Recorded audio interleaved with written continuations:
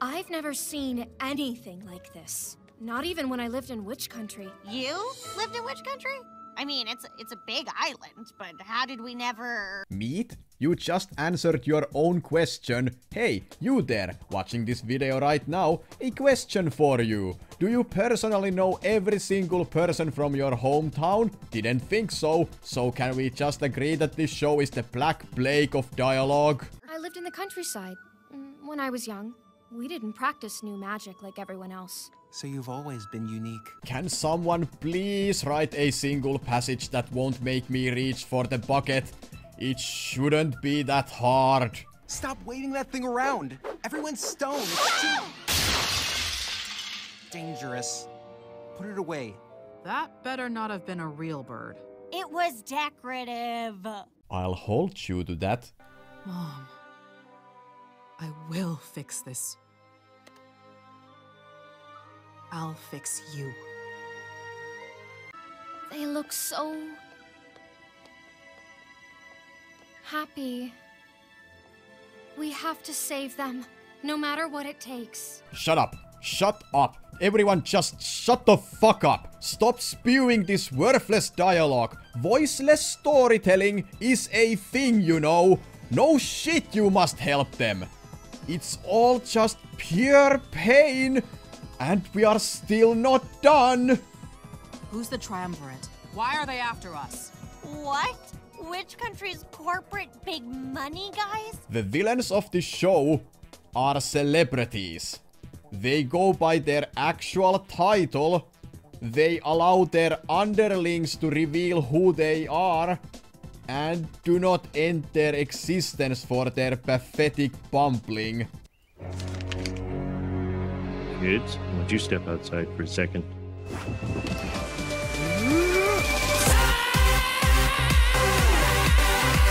Okay, so the heroes are gonna blow the lid on this massive scoop, right? Surely they won't keep this to themselves. Instead of revealing this insidious threat to the entire world to the teachers, the veteran guardians, whose literal job is to protect the world from evil forces.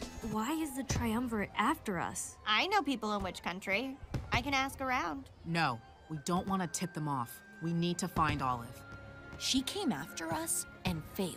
She will come back. Then we should tell the Triad what's happening. Or Caraway at least. We can't. You heard her. The Academy's crawling with spies. If we tell anyone, we'll be overheard. The story would end right here if the girls just did the obvious. The villains have already shown themselves to be incompetent beyond all comprehension, so even the slightest pressure at this point would make all their plans crumble like a house of cards.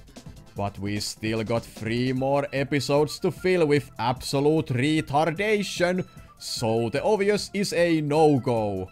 It's not even about mulling it over, telling everyone about this would be the gut instinct of any functional human being. Some vague threats about spies and the like is not enough to deter anyone. We hide well, and they'll keep sending us. The others won't be so nice. And that ends up being a lie anyway, so nothing is gained from this narrative intrigue-wise. It's ridiculous. Do you think Caraway is a spy? Do you think the Triad are spies? I would imagine not. Here's an idea. If you are scared of assassins, then tell literally everyone. If everyone knows, then it doesn't matter anymore. The assassins won't try to murder you because they have nothing further to gain. The show suddenly invents this absurd reasoning for why the girls can't ask for help even though that has been their modus operandi for the entire series.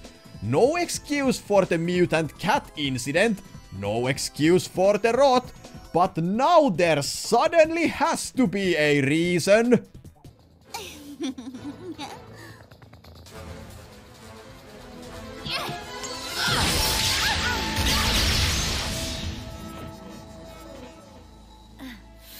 What? Wh- where is she? What the fuck was Sage trying to accomplish here? What possible use could this flashbang spell have? You can shoot lightning, you bewildering, passive-aggressive bitch! Blow Olive's hand clean off! And as for the pussycat herself, she already had her hand on the Terrasphere. It was literally in her grasp. How did she manage to leave the trinket behind while escaping? Was closing her fist too much for her? Who wrote this? She's gone. We're never gonna find her now. Never gonna find her. The fuck you can't. She's still bleeding. Rosemary found her not two minutes ago by following the trail of blood. You see what I mean? The show constantly tries to justify its idiotic plot with these utter bullshit lines in the hopes that anyone watching it has the mental capabilities of a toddler.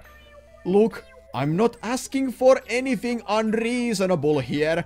The basic assumption when engaging with any author's story is that I as the audience suspend my disbelief about all the fantastical elements. I allow the author to flex their creative muscle.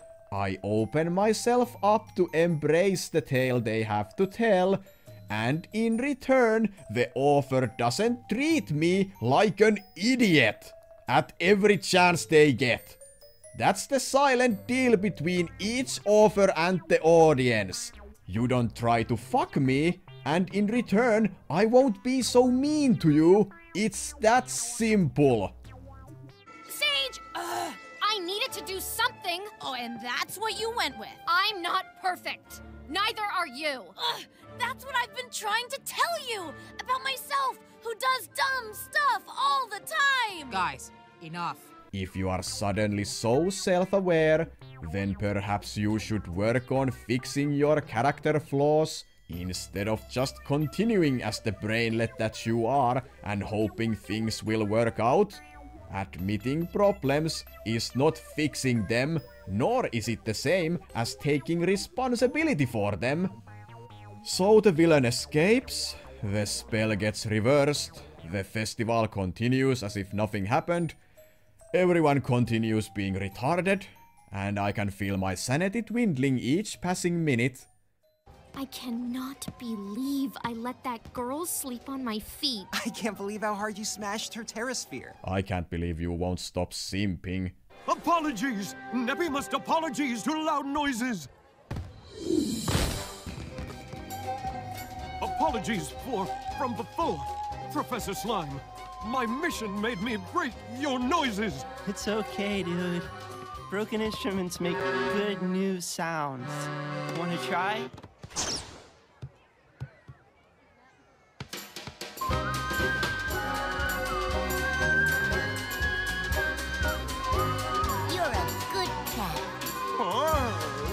I can honestly say that in all my years of consuming storytelling in all its forms, I have never cared so little about anything happening on screen as I do at this very moment. The band's probably gonna start again soon. Sage, do you want to watch them with me? I'm in. We need some space. Actually, uh, never mind. I'd rather throw more money down more holes. I'll come with. No, Rose. I, um, I want to be alone right now. Alone. With Snapdragon? Yes. So Sage and Snap are a couple, I guess, and Rosemary and Sage are BFFs no more. Time to be sad. Just won't talk to me. Get those stubby feet moving. Make Mama more money. Young. Can't we just start over?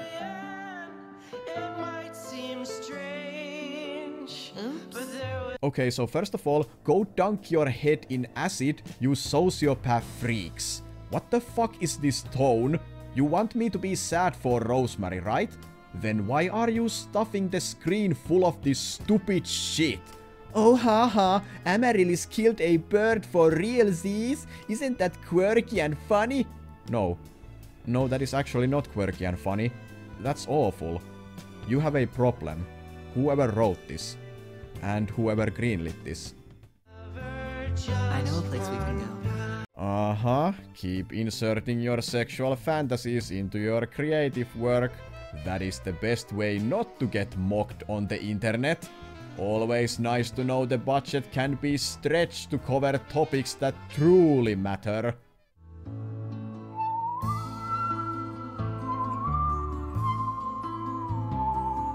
What makes this world so beautiful are the imperfections we all bear.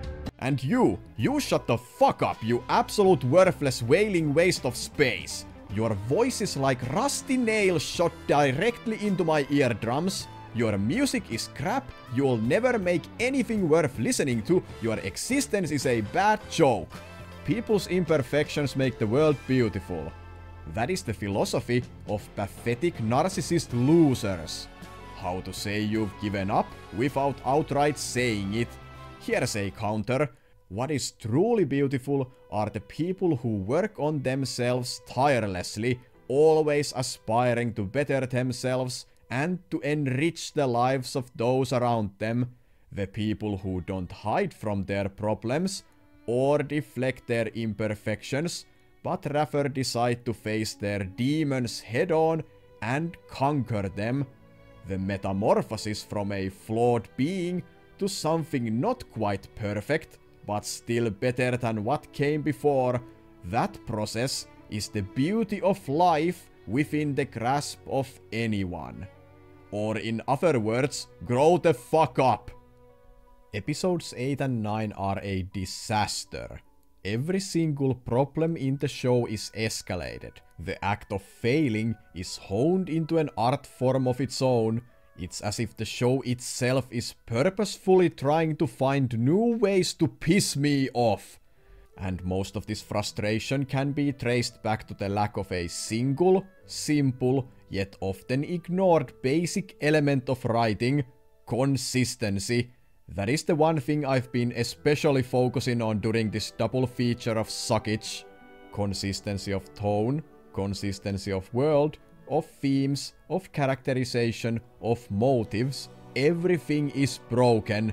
The writers are utterly incapable of creating anything worth investment, considering the grandness of this event and everything it ought to mean for the story that has come before, as well as going forth. The fact that the writers still continue to mess everything up to this magnitude, for my money, makes these the worst episodes yet. Not the worst overall, just the worst so far. And as always, a massive thanks to each of you for listening till the end. The continued support is very much appreciated. And a special thanks goes to all the supporters on Patreon, as well as an extra special thanks to my 10 euro supporters, Wyland, Jesiah Vanderwatt, and 6 stars. If you would like to join these fine people, or check out any of my other creative stuff, all the links are down below. Take care everyone, and I'll see you all in the next one.